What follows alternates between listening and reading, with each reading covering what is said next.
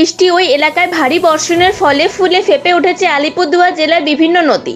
ভারী বর্ষণের জেরে বীরপাড়ার সুপ্তি নদীর ইর জল বেড়ে গেছে এবং সেতুর উপর দিয়ে জল যাচ্ছে। এর ফলে এ সমস্যায় পড়ছে স্থানীয় বাসিন্দারা। অপরদিকে ভুটান পাহাড়ে বৃষ্টি এলাকায় ভারী বর্ষণের জেরে মাদারিহাট ভাংড়ি নদীর জল বিপদসীমার উপর দিয়ে বইছে। এদিকে ভারী বর্ষণের জেরে ভান্নাবাড়ি, সাঁওতালি সহ বিভিন্ন চা বাগানের এলাকায় জন্মগ্ন হয়ে পড়েছে।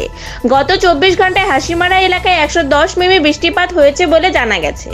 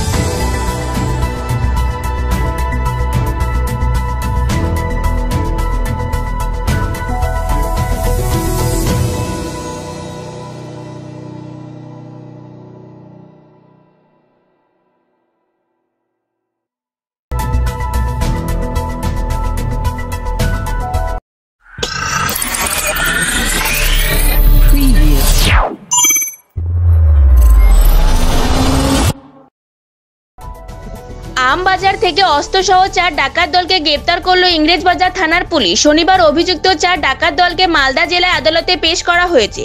শুক্রবার রাতে ইংরেজবাজার থানায় আমবাজার এলাকা থেকে ডাকাত দলকে গ্রেপ্তার করা হয় এবং ডাকাত দল থেকে উদ্ধার হয় একটি ওয়ান শাটার, এক রাউন্ড কার্তুজ, একটি চাকু ও একটি লোহার রড। পুলিশের প্রাথমিক অনুমান ডাকাতির উদ্দেশ্যে তারা এই এলাকায় জড়ো হয়েছিল।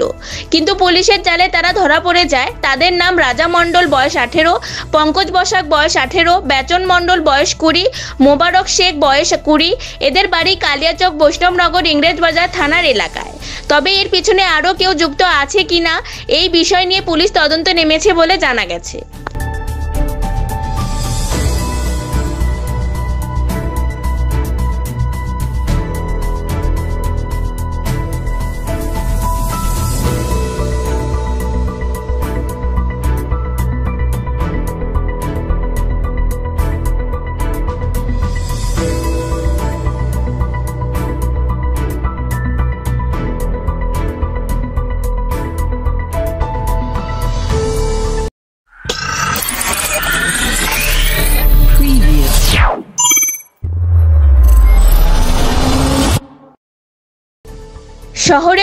করে বেড়ে যাচ্ছে করোনা। করোনাকে নিয়ন্ত্রণে আনতে জেলা প্রশাসন গতকাল থেকে শিলিগুড়িতে নয়টি ওয়ার্ডে লকডাউনের ঘোষণা করেছে। আজ দ্বিতীয় দিন শিলিগুড়িতে ছেচল্লিশ নম্বর ওয়ার্ডে পুলিশের কড়া অভিযান চালিয়েছে।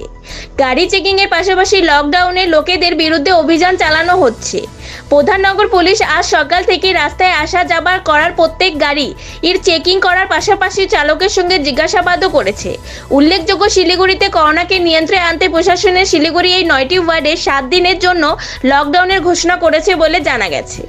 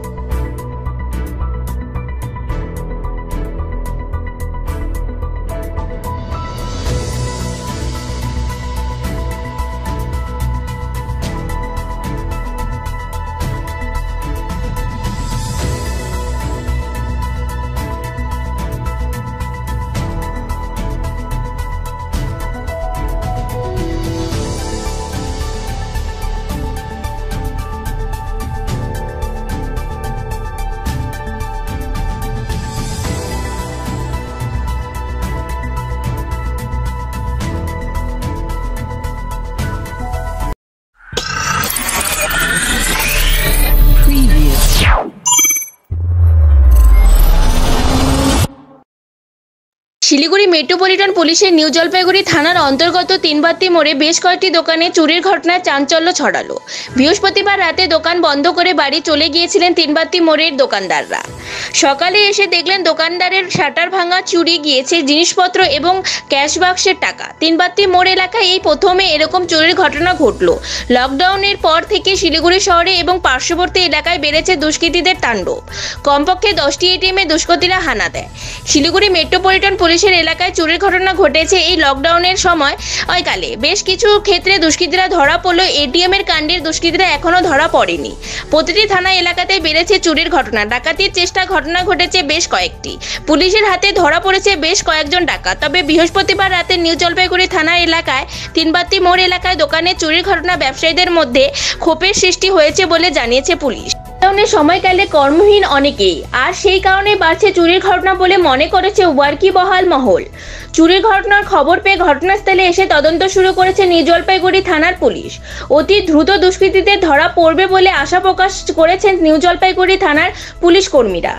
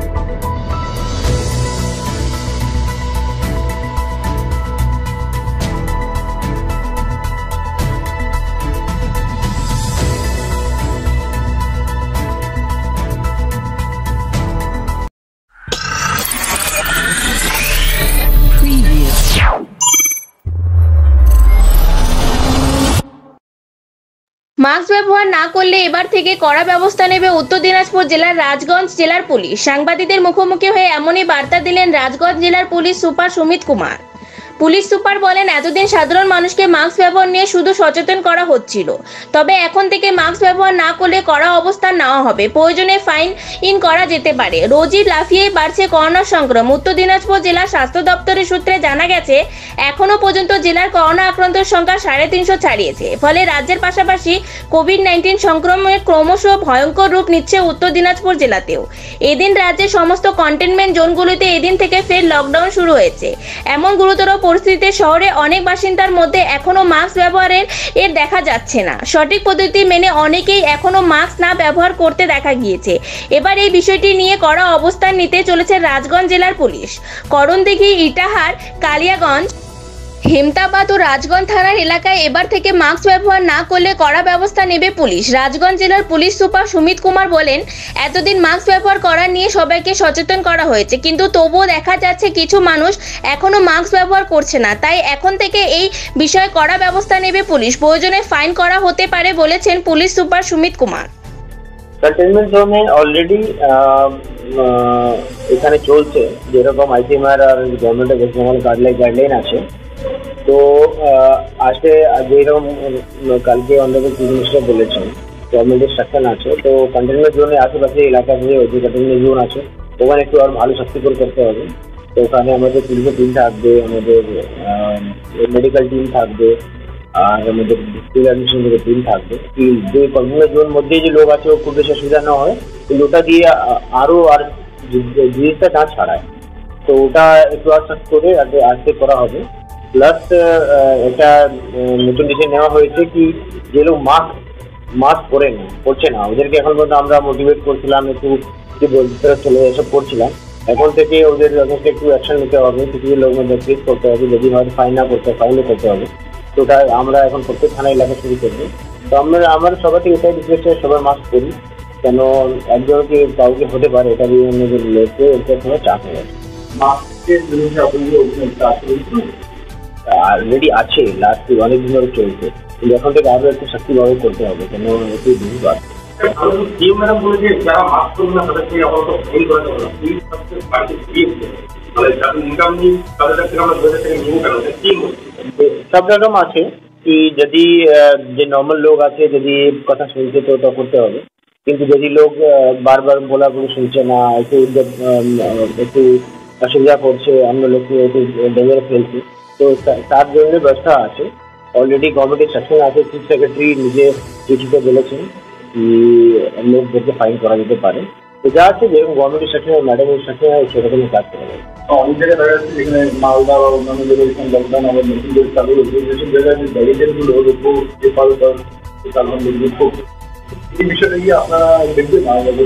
এই কন্টেনমেন্ট জোন যে আছে ওটা এটা এখন যে আছে এখানকার সব ও একটা বিল্ডিং আছে বা একটা ঘর আছে তো ওখানে আমরা চেষ্টা করব কি কো- কেউ বাইরে লোক না ঢুকে বা ওখানে লোক বাইরে না ঘুরে এটাই চেষ্টা হবে তো ব্যারিকেড এখানে প্রশ্ন আসছে না আমাদের কতটা হ্যাঁ ডিপেন্ড ও জিওগ্রাফি উপরে ডিপেন্ড করে প্রত্যেক এলাকা আলাদা আলাদা হবে ঠিক আছে এটা কোনো কোনো ফিক্স ক্রাইটেরিয়া কতগুলো কন্টেনমেন্ট এটা ইঞ্জিনিয়ারিং কমান্ডার এটা ডিসাইড করবে কতগুলো কন্টেনমেন্ট Previous.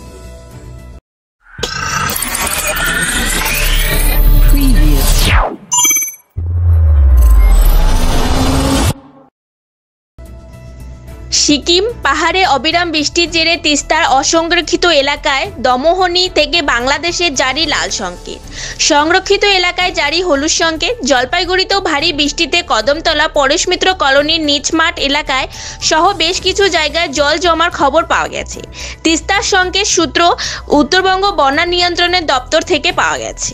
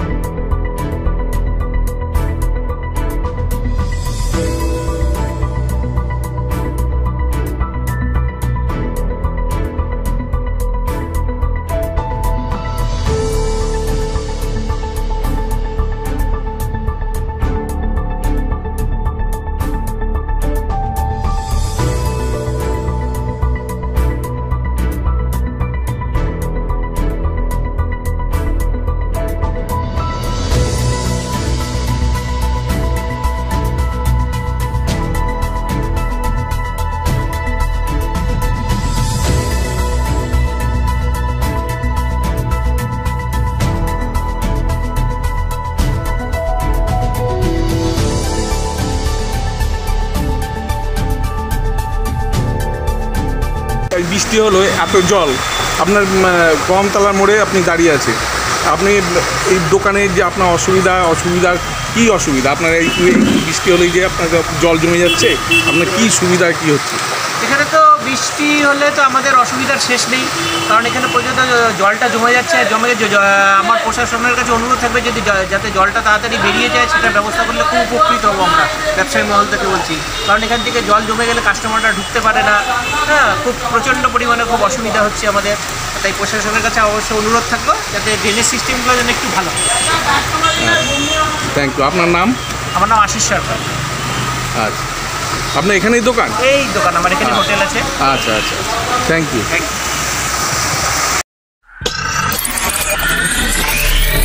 Previous.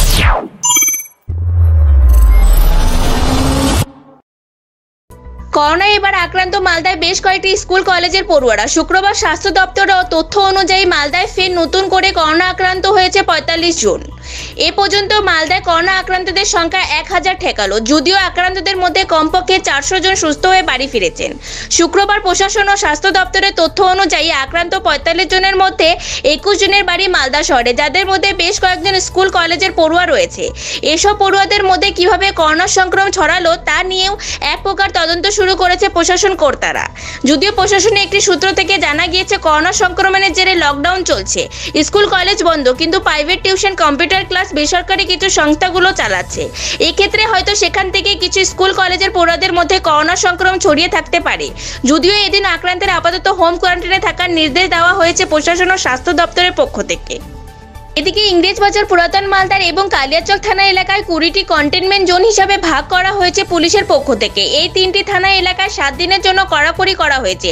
আর সেই সব এলাকা লকডাউনে সফল করতে সকাল থেকেই পুলিশ ও প্রশাসনের কর্তারা বিভিন্নভাবে নজরদারি চালাচ্ছে। যদিও সকাল থেকে ইংরেজ ইংরেজবাজারে এবং পুরাতন মালদা শহরের বিভিন্ন বাজার হাটে ব্যাপক মানুষের ভিড় উপচে পড়েছে। বহু মানুষের মাস্কবিহীন অবস্থায় রাস্তায় বের হচ্ছেন। এই নিয়ে প্রশাসনের পক্ষ থেকে প্রচার করা হলেও অনেকেই সতর্ক হচ্ছে না বলে অভিযোগ উঠেছে শুক্রবার সকাল ইংরেজবাজার শহরের নেতাজি পুরো মার্কেট এলাকায় বাজার করার জন্য বহু মানুষকে ভিড় করতে দেখা যায়। অনেকেই মুখে আবার মাস্ক পরতে দেখা যায়নি। একইভাবে পুরাতন মালদা শহরে মঙ্গলবাড়ি চৌরঙ্গি মোড়ের এলাকায় বাজারে বহু মানুষ মাস্ক ছাড়াই কেনাকাটা করছে। নির্দিষ্ট সময়ে পেরিয়ে যাওয়ার পরও বাজার এবং দোকানে বেচাকেনা চলছে বলে অভিযোগ।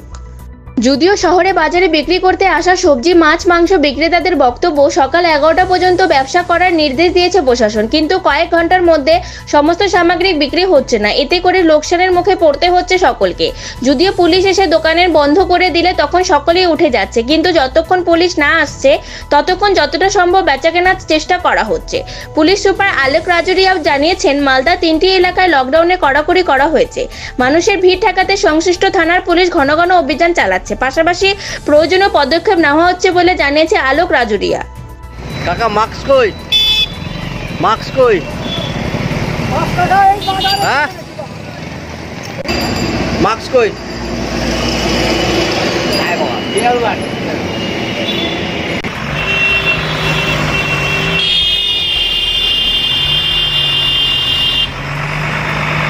দোকানে দোকানে ভুলে গেলাম ওষুধটা নিতে। কেন মাস্ক কেন পড়ছে না? ভুলে গেলাম না দোকানে আর মাস্কটা হাতে নিয়ে রাখেন না পড়ার মাস্ক কই? হ্যাঁ? মাস্ক কই? ওই, মাস্ক কই? মাস্ক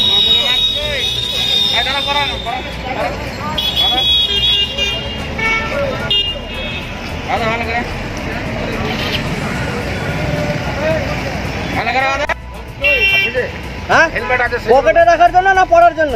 ওই হেলমেট আছে তো ওই জন্য নিকাশি হয়েছে